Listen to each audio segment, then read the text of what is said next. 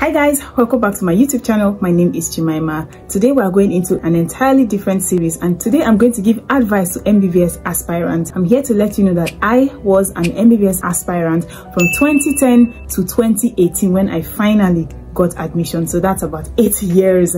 So you are not alone okay? I'm here to give you advice on everything that you should know before you finally get admission into a medical university or into a medical school or before you finally get the mbbs admission that you so much want. The first thing i'm going to tell you is don't worry okay? Be encouraged. If you've not seen my JAMB story i will put the link up for you. I talked to you guys how i was able to finally get my admission after writing JAMB or what americans would say mcat six times. I wrote JAMB or MCAT six times before I eventually got admission into a medical university. So you should have that in mind that it may take a while for some people. Everyone have their own path. The fact that your friend took six years to get his own does not mean that you will take that same number of years to get yours. You could actually get right out of secondary school or high school and get directly into a medical university while for your friend it could take a longer time. So everybody's path is different. That is one thing I would want you to know. Everybody's path is different. Do not compare yourself to anybody.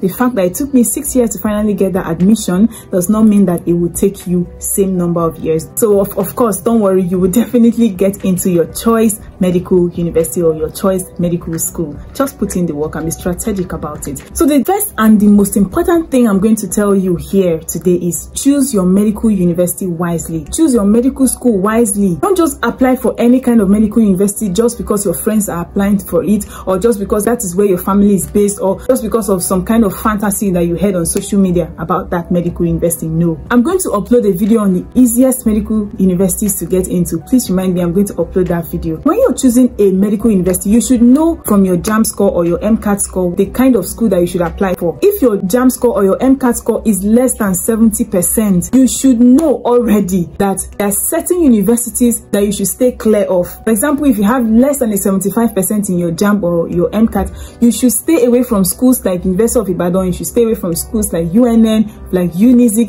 or Unilag, you know, all those schools with high volume of applicants. You should stay away from this kind of school so that you would not receive stories that touch the heart. Another thing, of course, I know that you may want to go into the best in quotes medical university. Yes, it's good that you go for the best medical university, but as I would always say, it all depends on your score. It is the percentage that you have in your JAMB or your MCAT that will determine the medical university that you should go into. Note that the best medical schools, the best medical universities require the best JAMB scores or the best MCAT scores. So you should have that in mind before you write your JAMB or before you write your MCAT so that you will prepare accordingly. Another thing I'm going to let you know, particularly for the medical aspirants in Nigeria, some medical universities, some medical schools do not accept second choice choice. So don't put a particular school as second choice and you expect that they will give you admission. No, it doesn't work that way. Find out the requirements for that school and know if they accept second choice. If they do not accept second choice, then you have to go back to JAMB website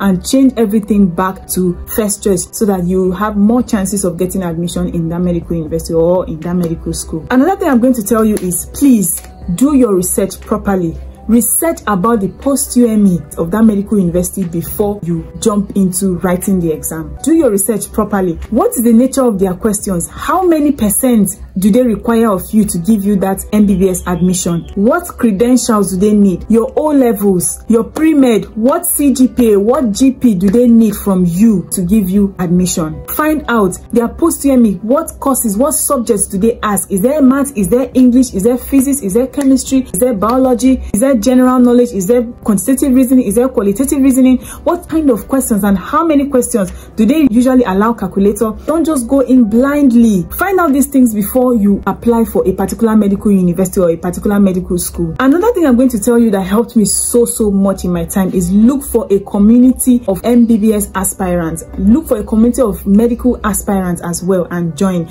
There are so many Facebook groups. There are so many Nairaland pages that are for medical aspirants, that are for MBBS aspirants, join. You will get to see someone else who is aspiring to become a medical student in the same medical university. You will be informed. Look for those kind of groups. It will help you a long way. You know tips ahead of time, especially when you have to travel to that university to write their post-UME. You need to know ahead of time what to expect, what kind of bus travel you should use and all those, you know, nitty gritty. And how will you get that information? It is from fellow MBBS aspirants like you. That is where you get information like that. Another thing, of course, I'll tell you is look for medical students in that medical university or medical school that you are aspiring to be a student of look for them and send them message. Believe me my msa president right now that is how i got to know him. Even my previous msa presidents i got to know them from an mbbs aspirant group chat and i discovered that they were already students of a medical school that i was aspiring to be a student of. And that is how they helped me tremendously before i got the admission.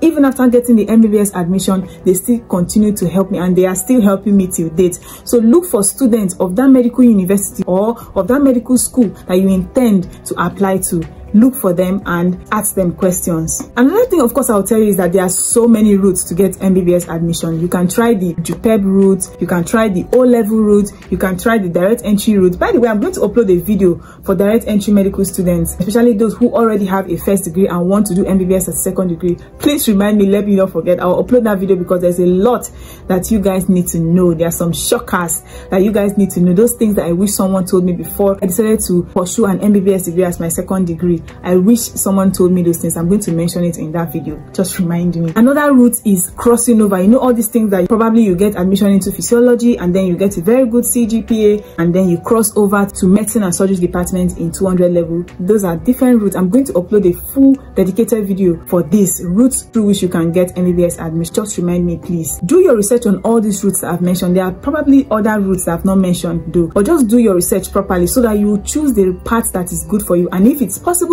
for you to apply through more than one route. Please do because i applied through direct entry and i still applied through o level i eventually got both but since the o level came first the direct entry admission came over six months after the o level admission came. So that's why i went for o level admission. So you can try different routes. One may click and one may not click but don't put all your eggs in one basket if you have an option. Another thing I'm going to tell you, I know it may be difficult, but please have an open mind, okay? Be ready to write JAMB or MCAT over and over again. Don't feel like as if it's a taboo. It's not a taboo. I wrote six times. Now, the fact that I wrote six times, I repeat myself again, it does not mean that you too will. But know that it is okay to write JAMB or MCAT over and over again, okay? This is MBBS that we are looking for and it's not easy to get in, so it's okay to try more than once. That doesn't make you a dull person. That doesn't make you an unintelligent person. There are smart people who also repeat MCAT there are smart people who also repeat JAMB. So just do your preparation properly and give in your best. Even though your best doesn't yield good enough result for you, don't worry. You will still make it. But how would you make it if you stop trying? Try again, you would make it. One more thing I actually forgot to add is that you need to know the admission quota for each university. There are some universities that have an admission quota of 200, some have 180, some have 150, 150. So you need to know because if the admission quota for that university you're applying for is 50, then that means 45% have to be on merit, 35% has to be on catchment area, and the remaining 25% has to be on ELDS. Merit is those that meet the cutoff mark. Catchment area is those that are from states that are around the school.